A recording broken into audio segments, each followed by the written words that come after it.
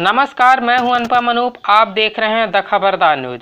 राष्ट्र सेवा में समर्पित स्वास्थ्य, पुलिस विभाग, समाज सेवियों सहित सफ़ाई कर्मचारियों को भी पुष्प वर्षा के साथ साथ ही राष्ट्र सेवा के लिए सम्मानित करते हुए सिमरिया पहुंचकर जनपद अध्यक्ष प्रतिनिधि संजय द्विवेदी के द्वारा साल श्रीफल ड्राई फ्रूट भेंट की गई। आपको बता दें कि सबसे पहले हॉस्पिटल परिसर पहुंचकर सोशल डिस्टेंसिंग का पालन करते हुए डॉक्टर सहित संपूर्ण हॉस्पिटल स्टाफ का संजय द्विवेदी द्वारा तिलक लगा करके सम्मानित किया गया। उसके बाद पूरे लोगों के द्वारा स्टाफ पर पुष्प वर्षा की गई। उसके बाद समान तिराहे पहुंचकर हाका अभियान में जाने से पूर्व समस्त पुलिस विभाग के कर्मचारियों का तिलक लगा करके चरण बंदन किया गया।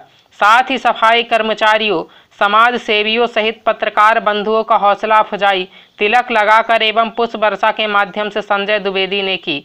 संजय द्विवेदी ने इस अवसर पर कहा कि सभी विभाग जो राष्ट्र सेवा सर्वोपरि कर अपनी सेवाएँ दे रहे हैं, अपने परिवार से दूर रह कर के दिन रात दे रहे हैं।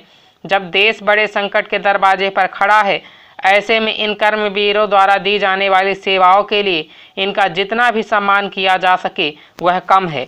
साथ ही साथ सभी विभागों के कर्मचारियों को संजय द्विवेदी द्वारा जनपद पंचायत सिरमौर की ओर से हृदय की गहराइयों से कोटिशह धन्यवाद भी ज्ञापित किया गया। और साथ ही साथ जनता जनार्दन से भी सभी विभागों को सहयोग प्रदान करने की विनम्र अपील जनपद प्रतिनिधि के द्वारा दी गई। अधिक जानकारी के लिए आइए देखते हैं खबरदार न्यूज़ की ये रिपोर्ट। देखते रहिए द खबरदार न्यूज़।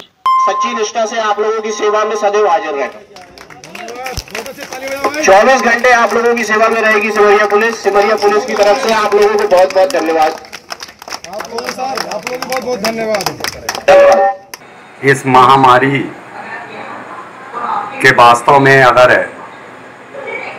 असली योद्धा अगर कोई है तो पुलिसकर्मी स्वास्थ्य कर्मी और सफ़ाई कर्मी, जिनके सम्मान में आज मैं समरिया मुख्यालय में सभी योद्धाओं का पुष्प गुच्छ के साथ उनका हौसला बढ़ाते हुए उनका सम्मान किया और आगे भी ऐसा सम्मान उनके चरणों में, उनके हौसला बढ़ाने के लिए हमेशा ऐसा ही करते रहेंगे।